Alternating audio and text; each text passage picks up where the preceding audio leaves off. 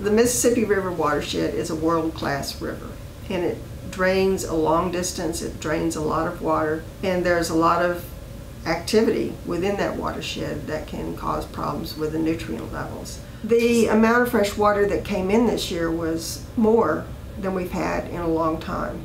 The Bonnet Carré spillway was opened twice this year, and that has not happened in recent history.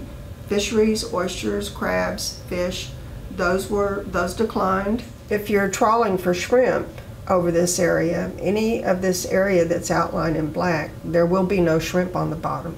This year's number was uh, close to some of the largest numbers, and I estimated that the size this year was about the size of the land area of the state of New Jersey.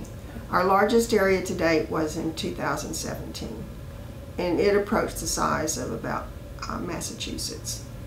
Other areas in the world, when you reduce the nutrients, you can improve the water quality. And it's not just the Gulf of Mexico. The watershed has these same toxic cyanobacterial blooms, these blue-green algal blooms that are harmful to children, dogs, people, and nitrate levels in drinking water often exceeds the safe standards.